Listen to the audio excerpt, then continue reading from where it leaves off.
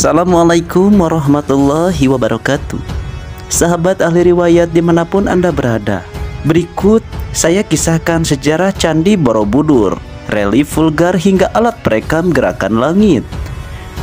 Candi Borobudur merupakan salah satu dari sekian banyak konten yang ada di alam semesta. Candi kebanggaan masyarakat Indonesia ini masuk ke dalam tujuh keajaiban dunia sebelum adanya revolusi atau perubahan Candi Borobudur memiliki arsitektur yang sangat sulit. Bahkan ilmuwan dari luar negeri pun belum bisa memastikan fakta di balik terbentuknya Candi Borobudur ini dan pesan apa di balik relief yang menyiratkan di balik tembok-tembok besar di Candi Borobudur. Yang pasti, ini semua masih menjadi misteri. Tentu, itu menjadi sebuah prestasi untuk bangsa ini. Dengan segala hal ajaibnya, Candi ini mampu menyedot perhatian jutaan wisatawan setiap tahunnya dari mulai mancanegara hingga dunia. Namun, apakah para wisatawan ini mengetahui terkait sejarah pembangunan candi ini? Ada banyak sekali hal-hal tersembunyi dari Candi Borobudur yang masih menjadi misteri hingga kini. Berikut fakta di balik misteri Candi Borobudur. Yang pertama, relief yang tersembunyi.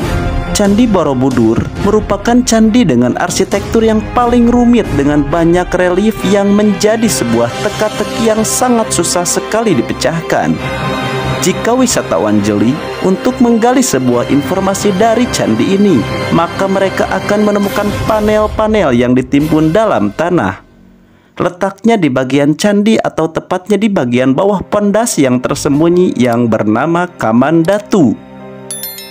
Kamandatu ini terdiri dari 160 relief tentang hukum sebab akibat. Sayangnya, masih banyak yang belum mengetahui alasan mengapa relief itu muncul dan apa tujuannya. Sebagian ilmuwan berpendapat Ternyata relief ini menggambarkan segala perbuatan buruk manusia dari bergosip, menyiksa, membunuh, hingga melakukan hubungan seksual dengan berbagai posisi.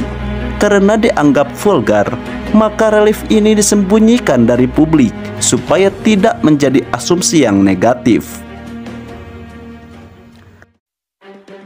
Yang kedua,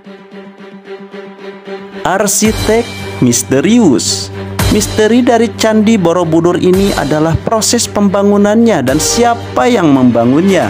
Kalau dipikir-pikir dengan luas dan peralatan dengan seadanya, pada zaman tersebut Tentu kita akan dibuat bingung tentang bagaimana bisa manusia tanpa menggunakan alat modern seperti mesin pembantu bisa membuat dan menyatukan batu demi batu yang ukurannya melebihi dari manusia biasa dan bisa bertahan hingga ribuan tahun lamanya.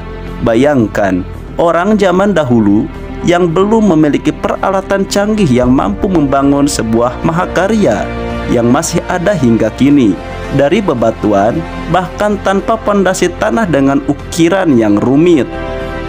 Pembangunan Candi Borobudur disebut telah menghabiskan waktu selama 70 sampai 100 tahun. Masyarakat setempat percaya jika Candi Borobudur dibangun oleh sosok Gunadarma yang merupakan sosok jenius di atas rata-rata dengan IQ yang sangat tinggi.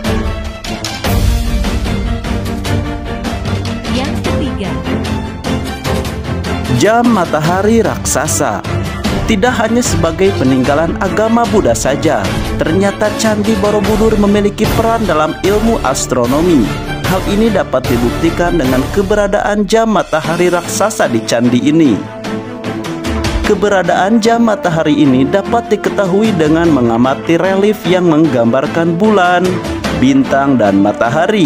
Selain itu, bentuk simetris pada bangunan yang memiliki sisi sejajar dari arah gerakan matahari dari timur ke barat yang membuat Candi Borobudur alat perekam gerakan langit.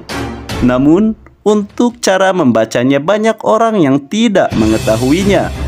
Namun kita tidak bisa berasumsi benar atau tidak benar informasi ini dikarenakan zaman tersebut sudah sangat jauh di atas kita dan kita cukup tahu saja bahwa sejarah Candi Borobudur adalah satu warisan keajaiban yang menakjubkan di luar akal manusia dan menjadi salah satu mahakarya yang berada di negara Indonesia. Wallahu alam. Mohon maaf apabila ada kesalahan kata dari pemaparan sejarah Candi Borobudur ini. Tentu kritik dan saran dari para sahabat sangat saya hargai dan jangan lupa untuk komen di kolom komentar ya sahabat. Akhirul kalam wabili taufik wal hidayah. Assalamualaikum warahmatullahi wabarakatuh.